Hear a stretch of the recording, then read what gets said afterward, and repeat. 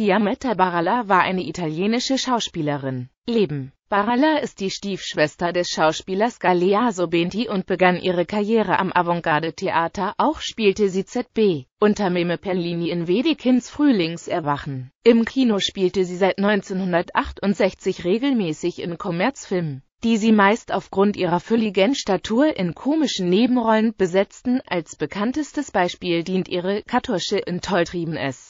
Die alten Germanen, auch Federico Fellini nutzte dies für seine Stadt der Frauen. Ihre ausgeprägten darstellerischen Qualitäten kamen fast nur in Meme Perlines Filmen zur Geltung. Zwischen 1976 und 1986 spielte sie auch am Teatro La Piramide der italienischen Hauptstadt. Filmografie 1957 La Regessa del Palio 1970 Tolltrieben ist die alten Germanen 1975 Der Divisionstrottel 1976 Die frechen Teens drehen ein neues Ding. 1980 Fellinis Stadt der Frauen. 1990 Spazi, Frazzi und Co. 2006 Don Matteo